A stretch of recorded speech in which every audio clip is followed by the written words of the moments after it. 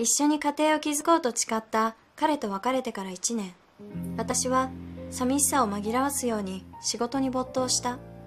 その頃から不思議とつまらなかった仕事が楽しくなり自然と業績も上がったのでますます生きがいを感じるようになったのです。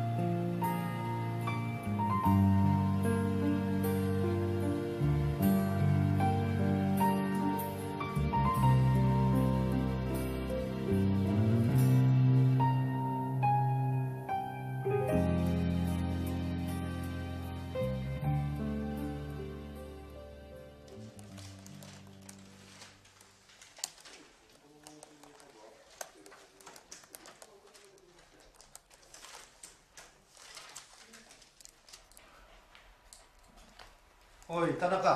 あはい。今日石沢のやつまだ来てないのか？ええなんか聞いてるか？直行してるといや何も言ってなかったですけど。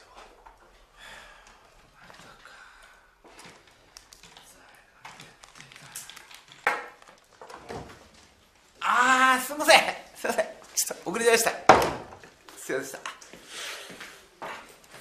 すいません。で遅れちゃいました。おはようございます。おはよう。今日もみきちゃんかわいいね。冗談はやめてくださいよ。また部長に怒られますよ。冗談なんかじゃないって。石沢今日はなんで遅れたんだ？ああのー、そのえっとお腹の調子が悪くて。その言い訳今月3回目だぞ。そうでしたっけ？少しは大橋君を見習え。お前のああ大橋君みたいにできる部下がいればな。これも。あ社長おおはようございます。おはようございますようございます。社長。おはようございます。社長。今日もよろしくねはい。あ影山君ちょっと。あはい。はい。何でございましょうか？大橋君ちょっと借りていいかな。東東京商事のね社長に紹介したくて。かしこまりました、大橋君社長に同行したまえ。はい。頼んだよお気をつけ。そうだろ。いや影山さんも仕事一本でずっと真面目な人ですから。真面目なふりしてるだけだよどうせあんなもんさ。自分の文章考えてんだ。戻りました。あみきちゃんはい。何でしょうか？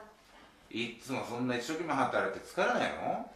私この仕事合ってるみたいで全然大丈夫です。そんな仕事ばっかしてたらさ体壊すよたまにはさ息抜きに。石沢と大橋君。社長がお呼びだ。今すぐ社長室に行ってくれ。はいわかりました。社長ですか？ああ。社長がお呼びなんだから早く行ったまえ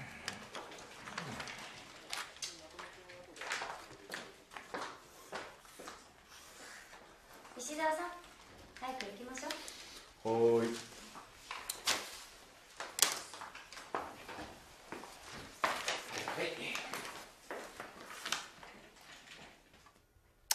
伊沢君今まで君がやってきた東東京商事のことなんだけどね。これからは大橋君中心にやってもらうことにしたから急にどうしてですか？うん。向こうの社長がね大橋君を大層気に入ってね。ありがとうございます。石澤君。おい。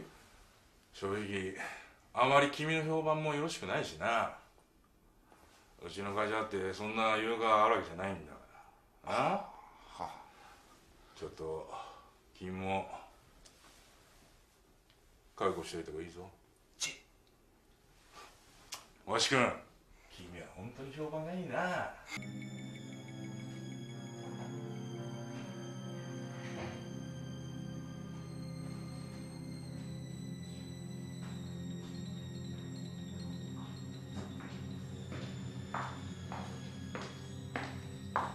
お疲れ様。お疲れ様です。今日はもう終わったの？あのさ東東京商事の引き継ぎのことでちょっとややこしいとこあるからさ飯飲みながら話そうよ。ああ私も聞きたいことあったんです。あそう。じゃあさ明日休みだし一杯おごるからさ。じゃあ行こうか。はい